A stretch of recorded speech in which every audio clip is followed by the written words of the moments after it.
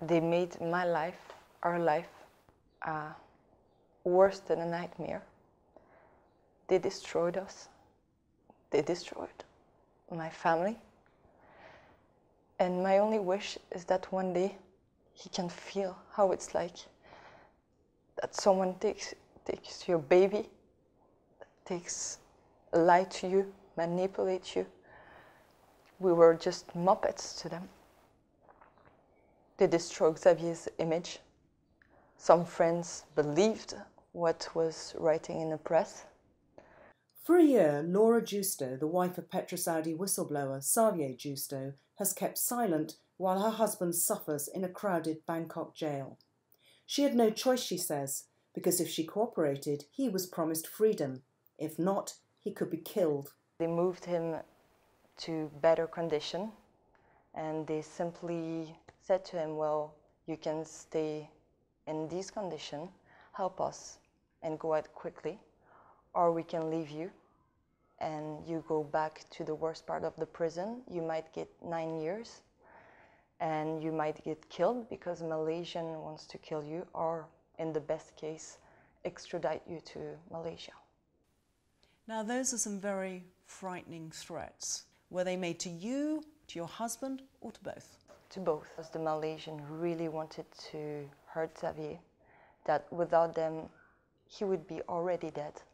Behind those threats and promises were none other than Justo's former colleagues from the company PetroSaudi, says Laura, the very people who denounced Justo to the Thai authorities to begin with. Following his arrest, they astonishingly gained exclusive access to him in jail, where they offered to get him out, but only if he cooperated with their campaign to deny responsibility for stealing billions from Malaysia's development fund 1MDB. But it was all lies, says Laura. She now accuses PetroSaudi of a shocking conspiracy to blackmail her husband into a confession and false statements in order to get him jailed, cover up their role, and to protect the Malaysian Prime Minister, Najib Razak. I hope they pay for what they have done. Because this is beyond corruption and money laundering. It's threats, blackmail, playing with people's life, destroying family, friends. Everything. They took everything from us. Orchestrating events was Patrick Mahony, a British director of PetroSaudi, who Laura confirms spent much of the last year managing Justo in Thailand. She also accuses the key shareholder Tarek Obaid, together with a team of British ex servicemen who were hired by Petro Saudi to help frame and discredit her husband after he had revealed its pivotal role in Malaysia's 1MDB Development Fund scandal, which has triggered the biggest ever global money laundering investigation into the theft of billions of dollars. They confirmed that they paid everybody many times at very high level. Do you think that they are working together with the Malaysian government to persuade the Thai authorities to keep your husband as this unique prisoner? Right now, yes. I believe that they're working together to, to make Xavier stay in jail. When I look at all the situation from the beginning, I just believe that they made everything to make sure he would stay inside for the longest time ever. Why do you think they want him inside? Because he's actually, and from many authorities, he's a key witness in this story. That's why. And what other best place than a Thai jail? Because you have no rule, no human rights, and they control everything the prison, the authority, at the highest level. So there's nothing better than keep him in this Thai jail. Justo was previously himself a director of PetroSaudi, but had moved with his new wife from Europe to Thailand by the time the UK and Swiss registered company moved to denounce him last year for alleged extortion over their company's stolen data. He had been based here at PetroSaudi's office in London's Curzon Street, Mayfair, and was an old friend of Mahony and Obaid. But he left on bad terms in 2011 after just one year, having realised there'd been massive fraud linked to its initial business venture with 1MDB. He took with him a copy of Petrosaudi's database, which detailed the entire criminal transaction, whereby at least two thirds of a $1.8 billion investment by 1MDB had been siphoned out of its supposed joint venture with Petrosaudi into bank accounts controlled by Jho Low, a flamboyant young Malaysian who acted as Najib's proxy. Shortly after that money disappeared, Jho Low started attracting headlines for his extravagant spending. He began fating Hollywood stars in celebrity hotspots like Vegas, Monaco, and New York. He bought a super yacht. Then he became linked to Najib's stepson, Riza, producer of the film Wolf of Wall Street, which Low reportedly funded to the tune of $100 million. Journalists, particularly Sarawak Report, have been questioning the source of this mysterious wealth and the growing debts at 1MDB, something that Justo's Petrosaudi data went a long way towards explaining. According to thousands of emails and documents, Jho Low managed the theft with the willing collaboration of Petrosaudi directors who agreed to act as a front in return for huge kickbacks and an injection of over $300 million into the company. Those emails even contain pictures of the meeting between Low, Prime Minister Najib Razak, and the Petrosaudi shareholders Tarek Obaid and the Saudi Prince Turki Abdullah as they made the deal on the yacht Tatoosh in August 2009. Later, more billions were to go from 1MDB through other investments involving Jho Low. At least 1 billion has been traced back into the Prime Minister's own personal bank account in Kuala Lumpur. Najib claims that money was donated by an anonymous Saudi royal, and he's forcibly closed all Malaysian investigations into the whole affair. He has not, however, been able to disguise an $11 billion hole in 1MDB's accounts, and that missing money was already creating an economic scandal by the time Justo decided to release his data. In early 2015 in Singapore, Justo handed copies of his devastating files to both Sarawak Report and the business paper The Edge. He had hoped to be paid $2 million for the explosive material, which represented money owed him by Petrosaudi, he says. But in the end, no money changed hands, and he returned to his beach house for the following three months as the story broke out and investigations were launched in Malaysia. It had created a major crisis threatening Prime Minister Najib Razak, who by then was revealed to have secretly assumed total control of the supposedly independent fund, working through Jho Low and bypassing the board of directors. For the Justos, this had been their safe place in paradise, but it proved a disastrous misjudgment by the couple. In June, the operation to arrest Xavier was launched by his desperate and angry ex colleagues, who'd guessed it was he who had released the data. Laura was visiting family in Geneva with their new baby. The arrest was all a setup. They came, there were uh, at least a dozen of people. They just put him against the wall. He was really treated badly. And then the next day they put him on a plane and brought him to Bangkok. Uh, they called already all the journalists they could. He was treated like he was a terrorist for a blackmail story. They made they made it huge and purpose to make sure that they would blame my husband and that they would forget about Petrosaudi. By magic, all the Malaysian reporters were already there at the airport, ready to take Xavier pictures. Surrounded by special forces and some of Thailand's most senior generals, Justo was paraded before the cameras of the Malaysian government controlled New Straits Times, which penned an aggressive article painting Petro Saudi as an innocent wronged party in a blackmail attempt using allegedly forged data. What motivated this man, so disconnected from the nation of Malaysia, to launch such a callous attack on our people without a thought for the consequences? The answer appears to be cold, hard cash.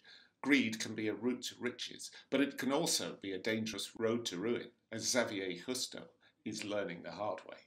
The paper then quoted a UK cybersecurity company which had been hired by PetroSaudi itself. The company alleged Sarawak report was politically motivated and had tampered innocent data.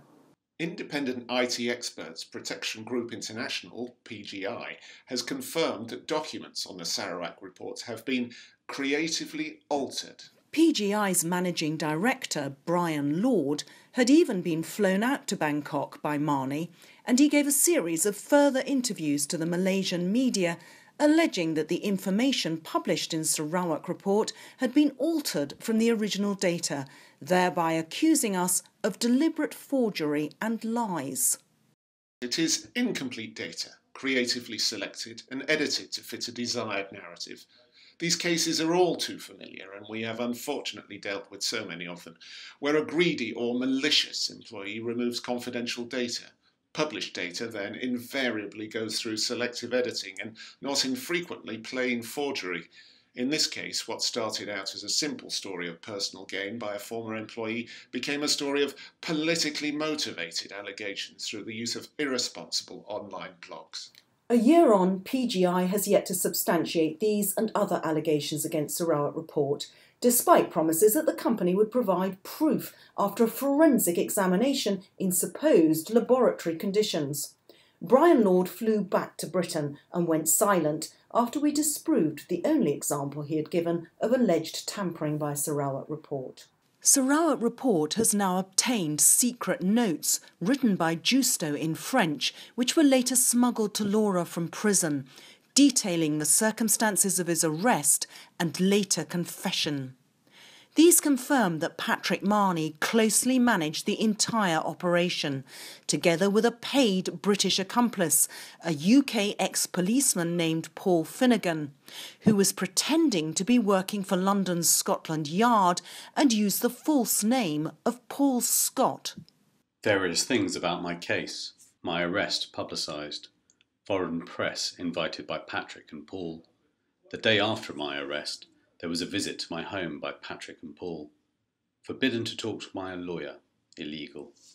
Paul Finnegan proposed that I should cooperate and serve less than six months, otherwise up to nine years in prison. My confession statement dictated by Paul.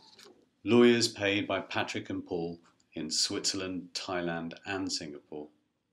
Laura's travel and hotel costs to be paid by Patrick and Paul, also the Swiss lawyer. My confession statement was altered the day before the trial and sentence. Colonel altered my WhatsApp messages to Clare Rewcastle Brown. Paul spoke about new identities and cash payment if I cooperated, for example, by purchasing my house. I must admit theft of records. Laura's phone is tapped. Records, including a daily report, are being sent to Malaysia by Patrick and Paul.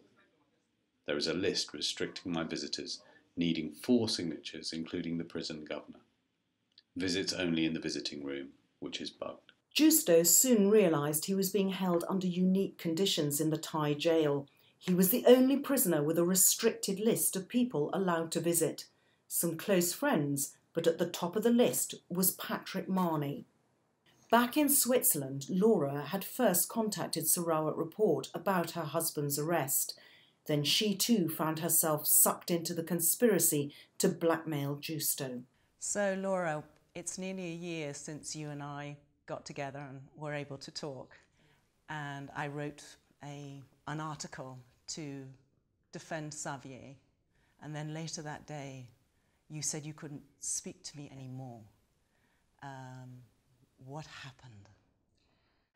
Well, I had a phone call uh, from someone who was apparently called uh, uh, Paul Scott.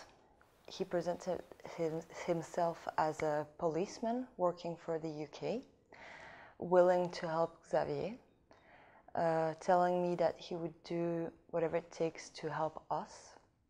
I asked him if he was working for Petro PetroSaudi this is one of my first questions to him, and he answered no.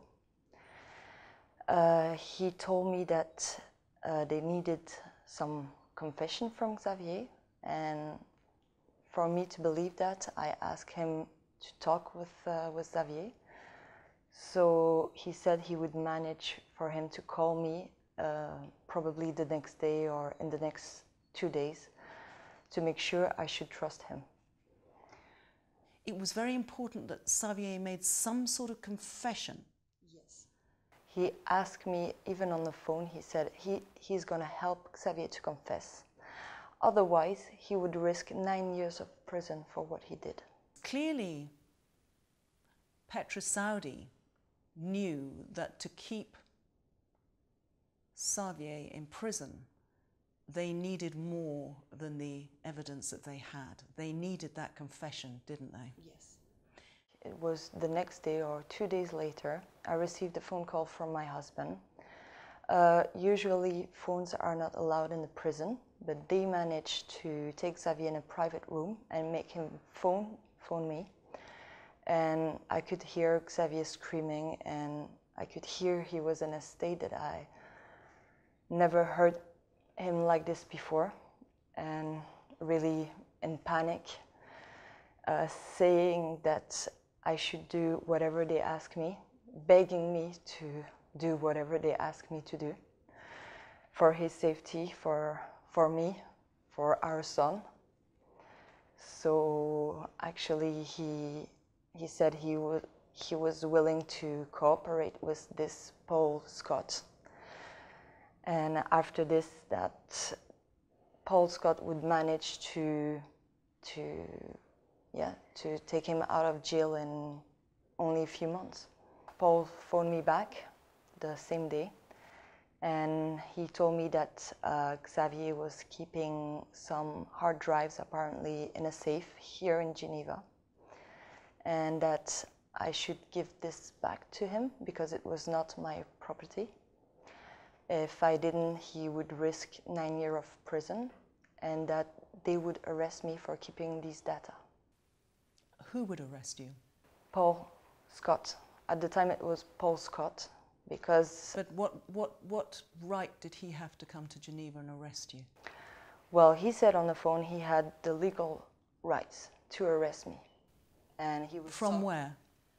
From the UK police. He said that he had all the rights to arrest me, uh, that he would do so if I kept this, that it was completely illegal for me to to have this, this hard drive and this computer with me. The files which Paul Finnegan, alias Scott, wanted contained the original Petro Saudi data from which Justo had passed copies to Sarawak Report.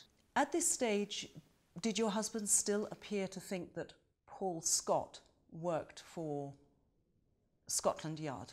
No, I think at this stage he was still believing that he was uh, a British cop, a British policeman that had the rights. And the story of Paul was that he was in another case and that the Thai police asked him uh, to help them to get Xavier's confession because they couldn't get anything, they weren't speaking good English enough.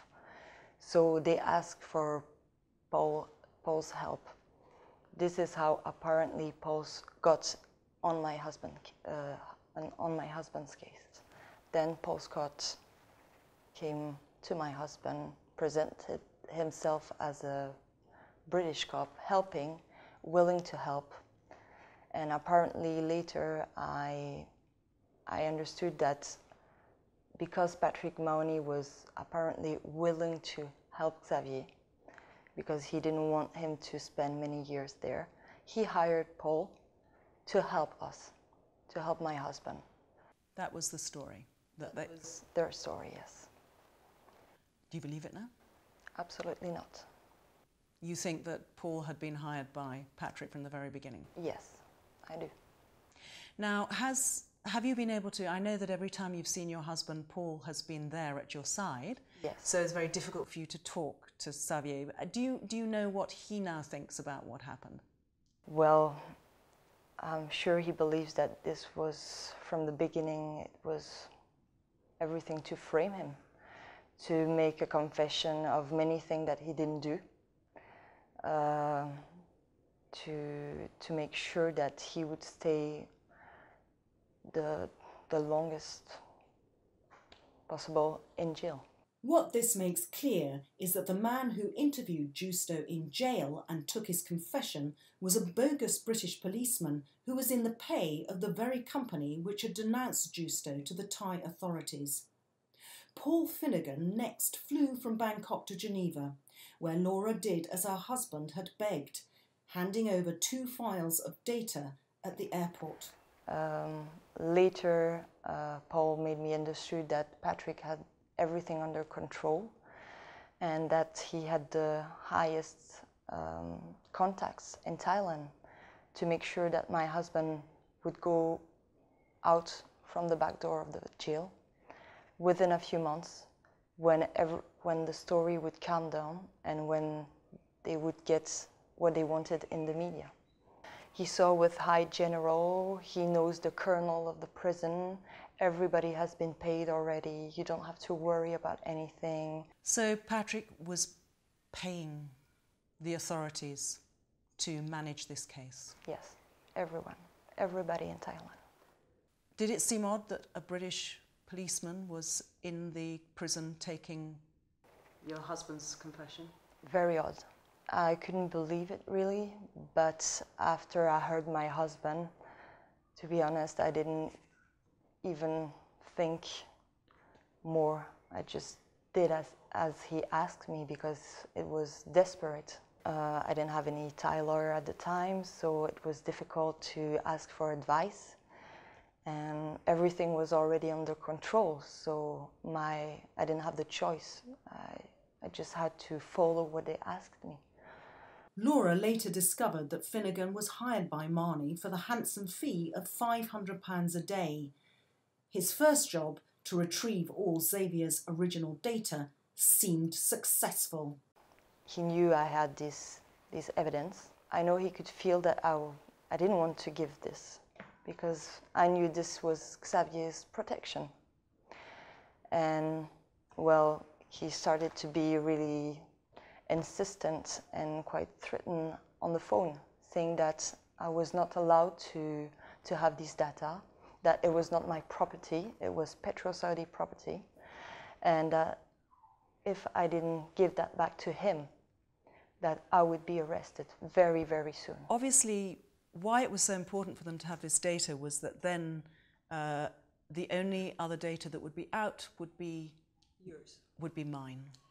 And of course, they had a strategy for dealing with the data that I had got. Exactly. I, it took me a little while to understand what was their strategy, but I finally pick up that actually that was it. They just wanted to get all the proof, all the other data, and make you um, saying that you tampered all the data. To claim that I was tampering everything documents. exactly. So that way you couldn't be credible anymore, and well, that's it. Paul and his colleagues controlled Laura's life for most of the following year, travelling with her to Thailand and supervising her visits to the jail to see her husband. Laura was also contacted directly by Mahony, who texted regularly and also met her in Thailand six times. To begin with, she says, the Petro Saudi team were kind and supportive as they tried to get her to do what they wanted. Actually, they were really, really nice to me. They said, Don't worry, we will arrange everything. They paid me business class tickets with Thai Airways to, to fly with Paul Finnegan directly to, the, to Bangkok. Then they organized private visits in a room. That was the carrot, wasn't it? Yes, they were paying for my travel and my hotels. He, they said that no problem, we will help you later financially, we will help you to, to sell your house, we will buy it. Uh, they even said that it was so dangerous for us that they would provide us new identities once Xavier would be out. Um, a safe place in Europe and many other fabulous things. But underneath were threats and demands. First, he had to confess, he had to do all these interviews. Patrick explained me that he was the only one that could help because Malaysian wanted Xavier for the information he got. He even told me that they wanted him dead, actually, because of what he knew, because of he was he could he was a witness and he could compromise everything. It was not just Xavier who had to cooperate, also Laura. They wanted some phone records from you. Uh, they wanted some interview. They wanted me to take a political position on this story. The position that they wanted me to take was their side, saying that Xavier, especially you, tampered all these documents. And that should be uh, what I should have tell the press. Why did they think it was so important to discredit me? Because I think that at first you were the only danger to them. So, yeah, you were the one that should take you down to make sure that that no no one would talk about about them about what it, they did. They told me that it was just a question of time before you were going to be arrested that you were in serious uh, you had you will have serious problem for what you did. Well actually it was on the strong advice of paul that i couldn't contact you anymore. I should stop because you were a real danger that you'll be next one jailed and that you were yeah that it was because of you actually that my husband was in jail and of course, I kept evidence because I could feel that they were lying, they were playing us. Uh, of course, you don't trust the people that put your husband in jail.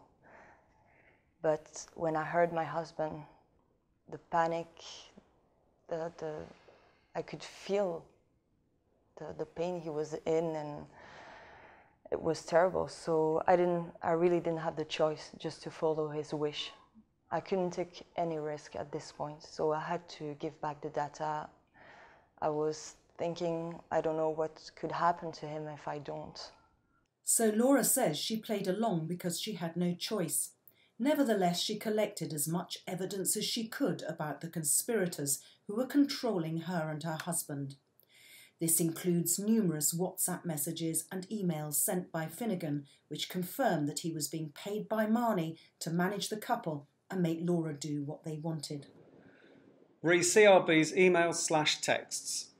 Hi Laura, please could you possibly send me everything you have had from CRB, all her communications to you, so that I can read them and formulate a strategy to deal with her. Once you hear back from her, we will consider a meeting with her that will be carried out under covert surveillance conditions. I will prepare a document for you to use as an aide memoire and a guide to maximise the intelligence or evidence from everything she says to you. You now fully know what I used to do for a living, so if we go down this route, I will ensure your safety and anonymity so that you will not be compromised or incriminated. It's definitely worth pursuing and exploring further, and too good an opportunity. Please let me know when you hear back from her, and in the meantime, send me what you have. Best wishes, Paul. To assist in these operations, another British citizen was employed by Petro Saudi called Dave Thomas. The former SAS soldier runs a company named Spy Games and claims he is expert in secret filming. They wanted me to call you and put cameras at my parent place, wires, everything, make you talk and spy on you. So they wanted to secretly record me? Yes. And they wanted to entrap me into saying things that they could use against me? Yes. Hi Laura, I have asked Patrick to get an official legal opinion on the tactic we are proposing with Clare Rewcastle Brown, and he will also liaise with you on this. We would like you to call her, record it, and say you're going to see Xavier this coming Friday. Ask her to meet you at your parents' home. If she agrees, I will come to see you tomorrow to prepare with you. This individual needs to be dealt with for everybody's sake. I take it no answer from her yet. Is it normal for her to be slow to reply? It's bank holiday here today, so that could be a reason. Although this person is not a normal person, so she's probably on the move trying to ruin somebody else's life somewhere. Hi Laura, it's probably about time to call CRB. Just record it, you know what to say, as per my previous texts. You are going to Bangkok on Friday and need to discuss with her what help she can give and how to get Xavier out of prison, etc., as well as what she wants you to say to him. Any update at all, please, Laura? That's a bit odd. Still, let's not jump to any conclusions. If you could try again early tomorrow and let me know, we need to keep up momentum on her. Laura had in fact deliberately avoided contacting me, although she pretended that she had. Nevertheless, the team had already pressed her to make one phone call, which she did record, on the promise that it would not be made public. Patrick asked me to call you and to record it. So I heard from you suddenly, unexpectedly. You were asking me all the time about this money thing, weren't you? I remember. This is the key point of Patrick told me that I should make you talk about the money, about our all kind of things. But he made me write a few questions and key key words that I should ask you. And he said it was only to listen to you to know what kind of woman you were, to make sure he could have a strategy on you later. That recorded conversation was later used by Mahony to make an attacking video. That Thai lawyer will have been approached. Laura said that this was not what she'd agreed and she refused to allow Petrosaudi to distribute the video, saying she would go public if they did. This became a growing dispute between her and Patrick Mahony, who wanted her to agree to release the video and to do interviews attacking me in the media. Managing the black media campaign was Swiss PR man Mark Comina, a friend of Patrick Mahony's. Meanwhile, Paul kept charge of events at the prison for Petra Petrosaudi. Well, first to move someone from the really worst part of the prison to the best part then you can see already the influence they had because they managed everything in the prison. So, visiting, conditions, um, any supply of food, drink, uh, exercise, everything. Um, later, uh, Paul made me understood that Patrick had everything under control and that he had the highest um, contacts in Thailand. But Patrick Mahony managed to get me and reporters uh, and himself, of course, when he wanted to talk to Xavier, he went directly in the prison. Xavier is the only one in maybe five or six thousand prisoner that have that has a visitor list. And if you're not on the list, well, you cannot go and see him even if you are on the list, actually, it the, the authorization must be signed by three, three guards, three colonels at the prison directly. So I used to go there. The first one would sign it if he was there. After I should go to the second one.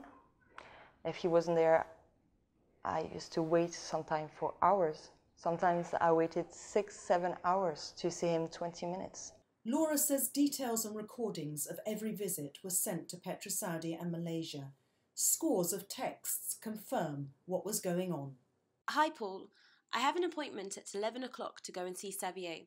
Patrick told me to present myself at the desk beside the entrance gates, so I hope I'll be able to see the lawyer too. Please contact Mr. Chak. He is the Secretary of Prison Commissioner. Tell him that you're the wife of Mr. Xavier and would like to visit him. Once Petro Saudi had got the copies of the data, Laura says they forced Xavier to make a confession that incriminated himself, without which it is unlikely that the Thai court would have had the evidence to convict him of the charges being pressed by Petro Saudi. They asked my husband to accuse himself about many things that he didn't do, uh, to accuse you um, about tampering documents which of course was not true. Um, they promised for him to be safe and out within a few months. They asked him to go to the press and make some interview, which every time was guided by Patrick Mahony friend, Mark Comina. Uh, they managed all the press, all the question, answer 48 hours always before the interview. It was Finnegan who drew up the confession for Justo, boasting how he'd used his British police training to make sure it was professionally put. On each page of this confession, Finnegan repeated that Xavier had refused his right to have a lawyer present as he made a damning self indictment. This confession was released to all the Malaysian and Swiss press. I hereby confess to my full involvement in the attempted blackmail and attempted extortion of Petro Saudi. I make this confession of my own free will and accord without any pressure, duress, or outside influence. I do not wish to have a lawyer present. I fully admit my criminal behaviour and accept my guilt in these matters. I just want to set the record straight and apologise to those who I have wronged. I have conspired with others and further admit offences of theft of data, handling stolen goods, selling stolen data and IT equipment to third parties, and attempting to launder the proceeds of sale. My only motivation for selling the data that I stole was for monetary gain, and I never considered myself a whistleblower. Sarawak Report asks on what authority an ex British policeman was able to take a confession from a prisoner in a Thai jail without a work permit, in the absence of correct officials, and with no lawyer present. It was, of course, the worst possible advice for Xavier to agree to make a confession without a lawyer, particularly a confession written by the paid agent of the party which had denounced him in the first place. The Justos soon realised that far from providing a backdoor out of jail, this deadly cooperation with their vengeful accusers produced disastrous results at the trial in August. Justo's self damning confession earned him a three year sentence based entirely on his own evidence. What did you do when you heard? I collapsed. So you realised you'd been betrayed yes. at that moment? Yes. And I couldn't do anything. Xavier's smuggled notes from jail tell his side of what happened. The lawyer did not represent me properly in court. The Thai lawyer did not turn up at the trial. Prison governor, the colonel, at Criminal Suppression Department, and Bangkok police chief are paid off by Patrick and Paul. I am obliged to make false statements about myself and past actions, and also accuse others of bad actions. Clare, etc. I know the real facts very well, but I have to say I don't know them. Patrick and Paul said I have to claim there was falsification of the Petro Saudi records. Persons I must incriminate Clare, Tong, K Tat, editor of The Edge, Mahathir, Anwar, Anwar family, persons to avoid mentioning Jho Low and Najib Razak. Verdict on same day as trial. That never happens. However, Petro Saudis still needed to use the Justos. They told Laura that the sentence was just for show and that Xavier would be out before Christmas if she cooperated further. Laura must agree to release the video they'd made using her recorded phone call, they urged, WhatsApp messages, and calls from Patrick Mahony made to Laura in French confirm these demands and why. Je voulais que tu sois au courant que cette vidéo a été faite. Ne réponds juste pas si elle t'appelle. I just wanted to let you know that the video has been made. Just don't answer if she calls you. We wanted to send it to all the people who subscribe to Sarawak Report. We have a list of all the emails. After that, we think it should be all over Malaysia. La cause de tous nos problèmes. Elle doit perdre crédibilité. It's going to be all over the media out there. She is the cause of all our problems.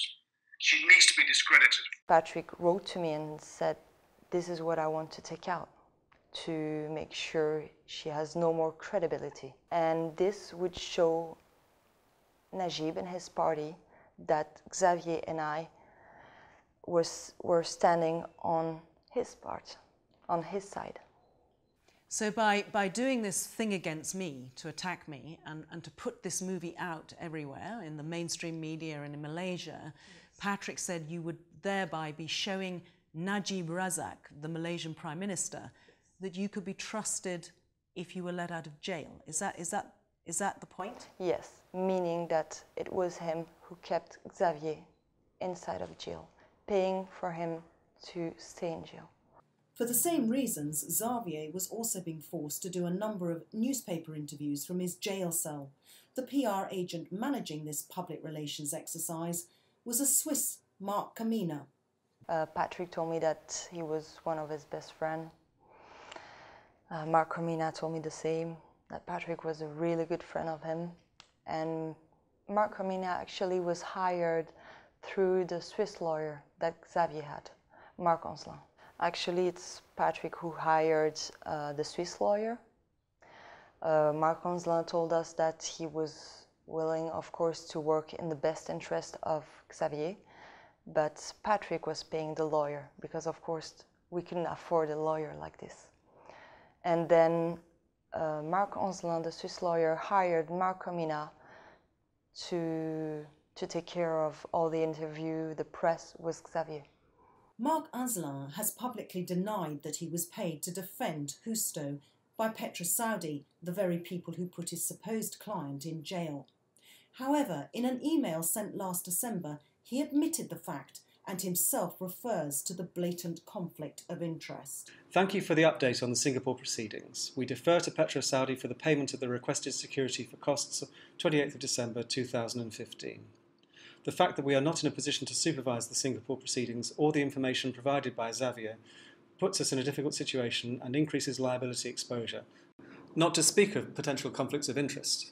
So perhaps little surprise that it was Marc Henzelin who gave a damning interview to Switzerland's Le Temps newspaper, supposedly on behalf of his purported client, Xavier Justo, but destroying his reputation at the same time.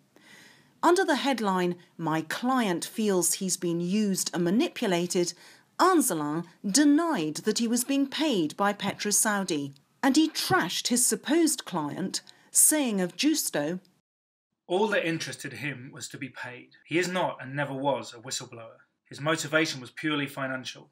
At that time, he still had no clear idea of what the data contained. He believes he is the collateral victim of a political conspiracy Henzelin went on to attack Sarawak Report for being politically motivated and claimed we doctored what he described as innocent documents from Petrosaudi.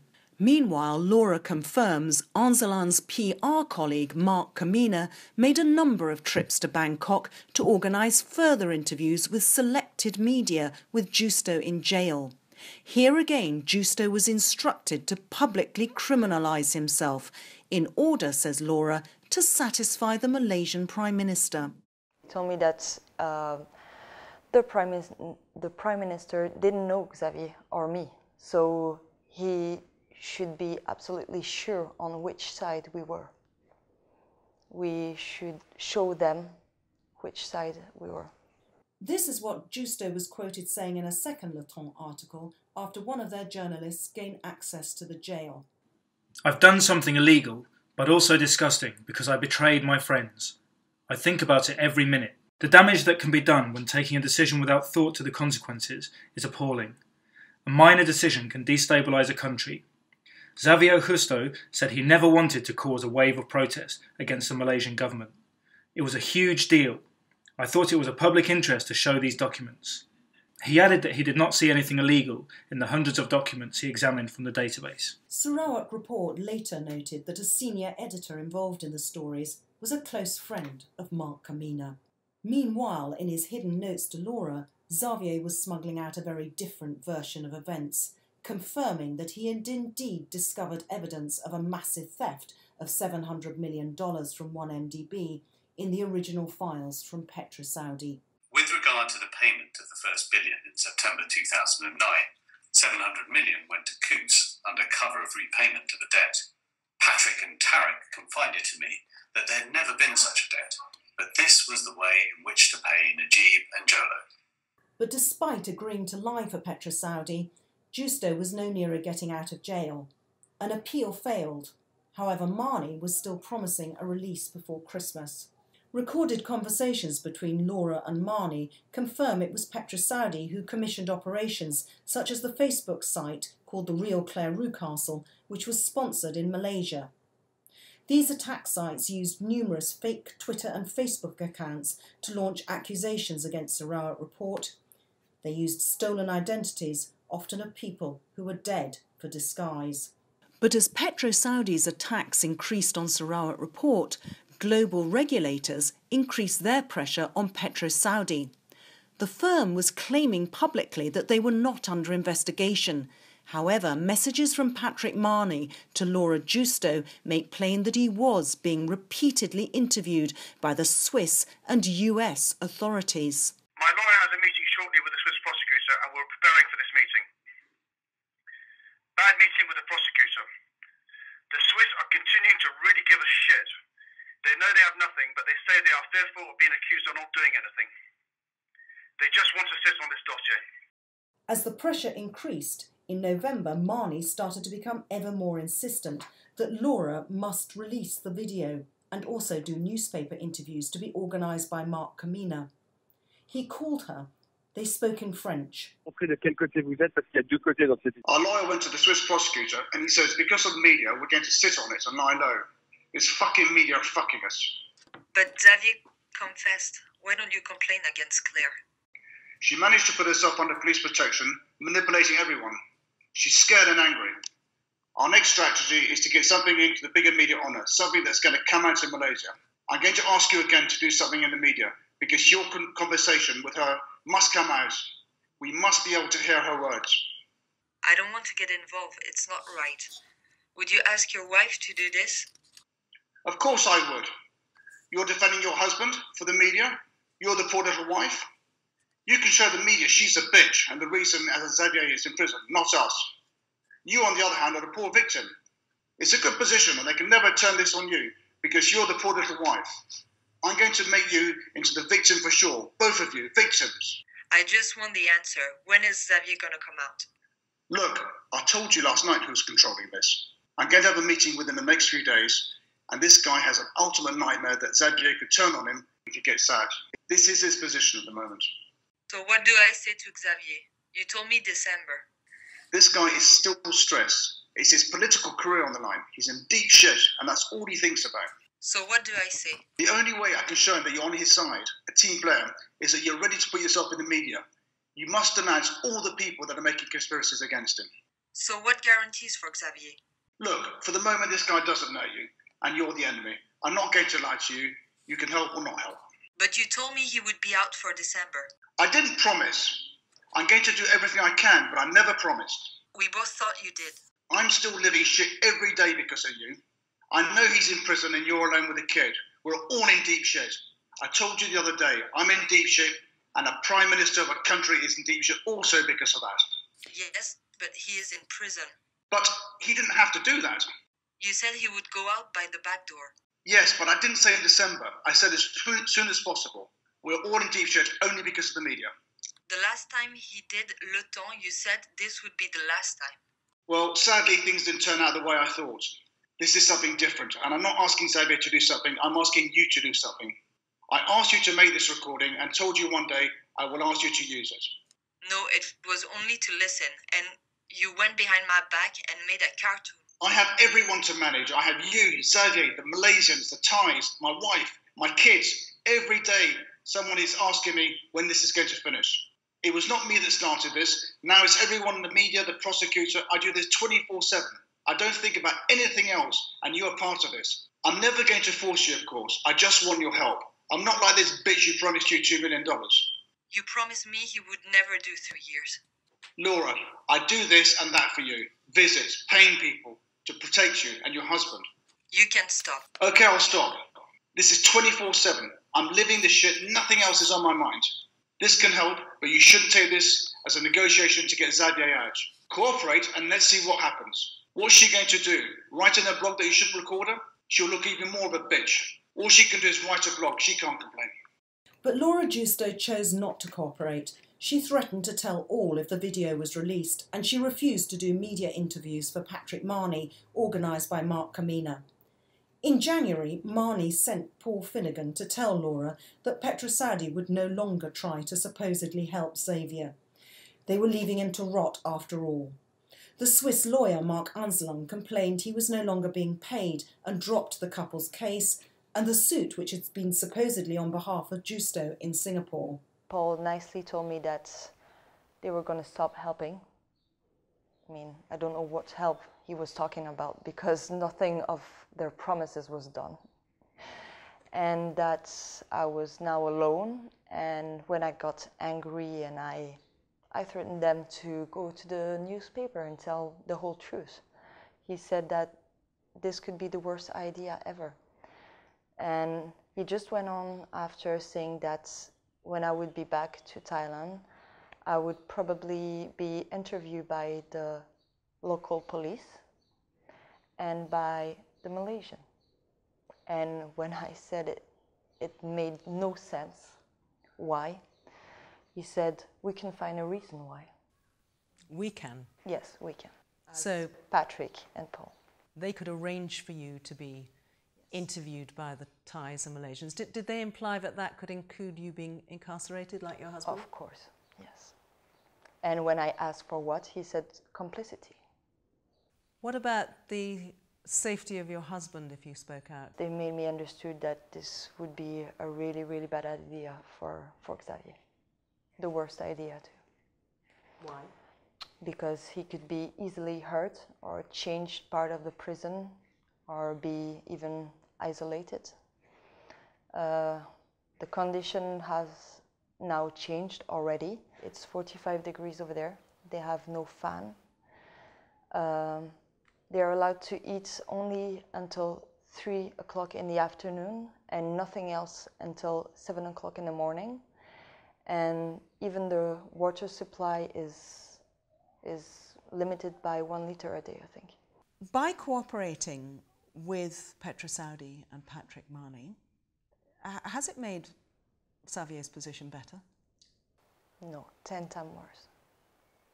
Actually, a few days before his judgment, I asked Patrick to change his, his Thai lawyer, but he said, No, no way, don't worry, everything is under control.